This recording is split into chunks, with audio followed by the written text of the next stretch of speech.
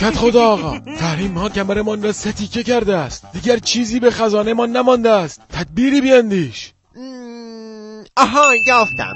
از جیب اهالی جبران می‌کنیم. جیب من و اهالی نداریم. همش اموال بیت المال است که مال ماست. یعنی چی کار کنیم؟ قیمت ها رو افزایش بدیم نه احمق جان با تاکتیک موریان وار عمل می‌کنیم اول قیمت یک جنس را بالا می‌بریم اهالی را تست می‌کنیم اگر قبول کردندی کالای بعدی را گران می‌کنیم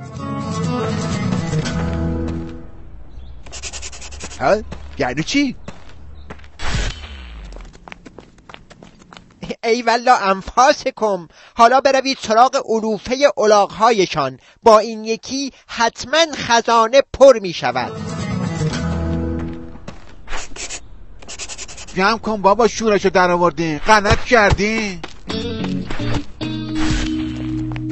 کت خدا این دفعه داد اهالی در آمده است. قریب است که شورشی بکنندی. حالا چه کار کنیم؟